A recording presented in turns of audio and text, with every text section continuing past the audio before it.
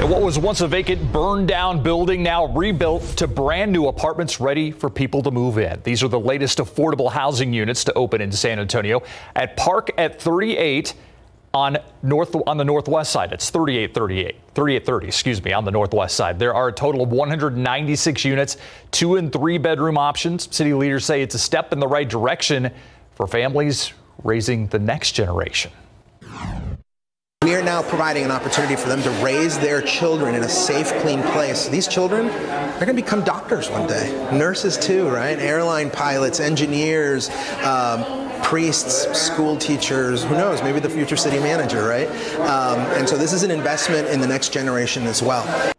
These new units paid for with the 2017 Neighborhood Improvement Bond Program.